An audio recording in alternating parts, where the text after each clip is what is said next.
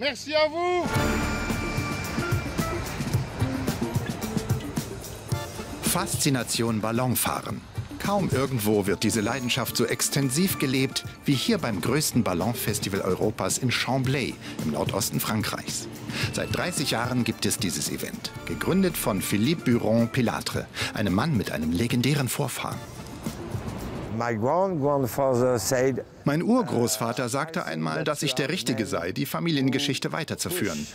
Denn mein Ur-Ur-Ur-Uronkel war Jean-François Pilatre de Rosier, der erste Mensch, der mit einem Heißluftballon gefahren ist. Das war 1783. Mit rund 500 Ballons ist das Grand Est Mondial Air Ballon eines der größten internationalen Ballonfahrertreffen der Welt. Ballonpiloten aus rund 40 Nationen sind dabei. Deren Einzug auf das Startfeld gleicht einer ausgelassenen Prozession. An den zehn Festivaltagen kommen bis zu 500.000 Besucher. Zweimal am Tag steigen die Heißluftballons auf, mitten im Naturpark Lothringen. Wir sind hier in einem Nationalpark. Hier gibt es ausreichend Flächen, um ohne Probleme zu landen.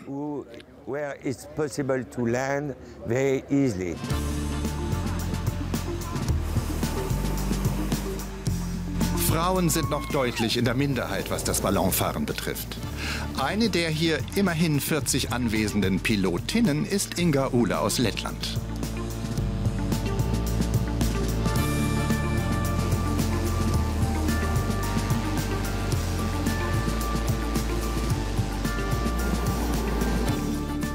Mit mehr als 500 Flugstunden ist sie eine erfahrene Ballonpilotin.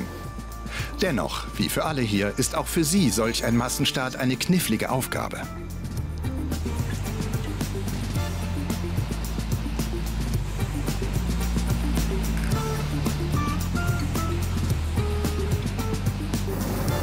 Die ganze Zeit über beobachtet Inga Uhle konzentriert, was um ihren Ballon herum geschieht.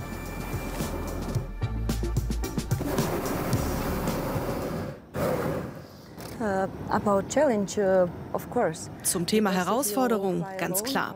Wenn man alleine aufsteigt oder nur mit ein paar weiteren Ballons, dann ist das was ganz anderes, als mit 400 Heißluftballons gleichzeitig in der Luft zu sein.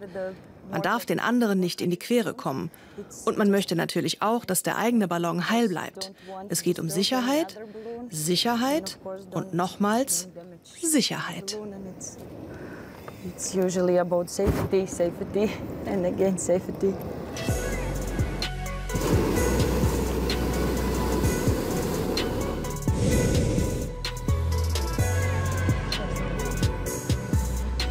Anders als in Frankreich oder Deutschland zum Beispiel ist Ballonfahren in Lettland kaum populär. Nur etwa ein knappes Dutzend Ballonfahrer gibt es dort. Für Inga Uhle geht es um mehr als nur um das Schweben in der Luft. Uh, Eigentlich geht es um die Leidenschaft für zwei andere Dinge. Zum einen ist es das Naturerlebnis. Die Natur vom Ballon aus zu erleben, ist etwas ganz Besonderes. Es ist, als würde man in ein Theater oder eine Oper kommen und sich umschauen. Und das Zweite sind die Leute hier und die Kontakte zu ihnen. Meistens ist man mit den anderen Ballonfahrern auf einer Wellenlänge. In general, we are similar. Beliebte Inszenierung und einer der Höhepunkte ist das sogenannte Nachtglühen. Eine Lichtshow, bei der die Ballons am Boden bleiben. Ein beeindruckendes Festival im Mutterland des Ballonfahrens.